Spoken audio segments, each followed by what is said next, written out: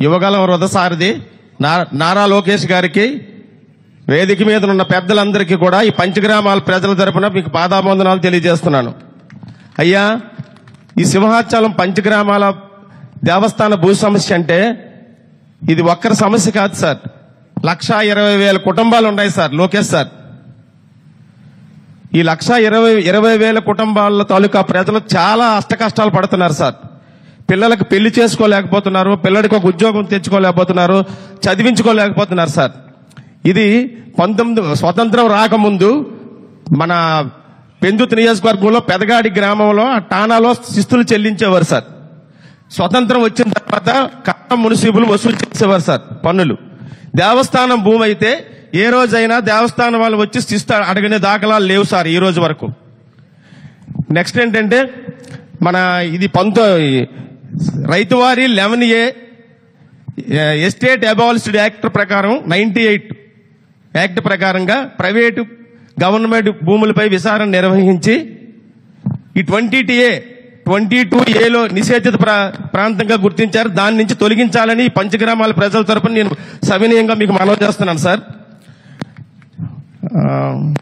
ఉండండి.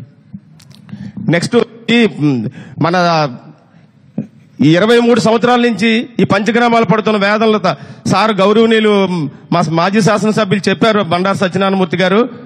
ఇది పంతొమ్మిది వందల రే మన రెండు వేల నాలుగులో మన గవర్నమెంట్ నారా ముఖ్యమంత్రి మాజీ ముఖ్యమంత్రి వర్యులు నారా చంద్రబాబు నాయుడు గారు రెండు వేలు జ- జనవరి రెండు వేల జనవరిలో ఫైవ్ సెవెంటీ ఎయిట్ జీవో ఇవ్వడం జరిగింది సార్.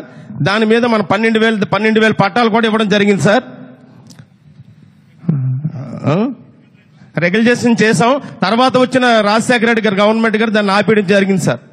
మళ్ళీ మన గవర్నమెంట్లో దీని మీద ఒక చట్టం మూచేసి ఆ ఒక కేబినెట్ ఆమోద ముద్ర తీసుకొని గవర్నర్ ఆమోద ముద్ర కూడా మనం వేయించడం జరిగింది సార్. ఈ లోపు వాళ్ళు కొన్ని కేసులు వేయడం వల్ల ఎలక్షన్ రావడం వల్ల ఎలక్షన్ కూడా రావడం వల్ల ఆగిపోయింది సార్. మేము ఈ పంచగ్రామాల తరపున సవినీయంగా మీకు మనవి చేయండి ఏమనగా మనకి అలాంటి GO five seventy eight GO లాంటి మన గవర్నమెంట్ వచ్చిన వెంటనే ఫస్ట్ జీవో అయినా ఇవ్వండి పూర్తి హక్కులు. ఈ ప్రాంతంలో ఉన్న ప్రజలందరికీ పంచగ్రామాల ప్రజలందరికీ పూర్తిగా మా భూములు సరే అయ్యి. ఈ రోజు ఇక్కడ ఉన్న ఎంతో మంది తల్లులు తండ్రులు ఉన్నారు. ఇద్దరు ముగ్గురు పిల్లలు ఉన్నారు పెళ్ళిళ్ళు చేసుకోలేకపోతున్నారు. చాలా కష్టాలు పడుతున్నారు సార్.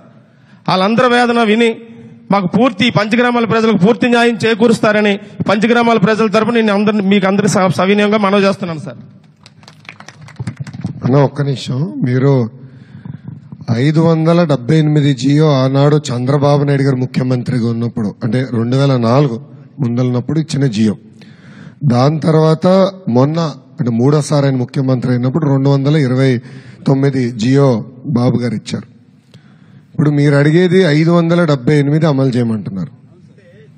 ఇవ్వండి అందుకే ఇది నాకు కొంచెం క్లారిటీ ఉండాలి కదా చెప్పండి.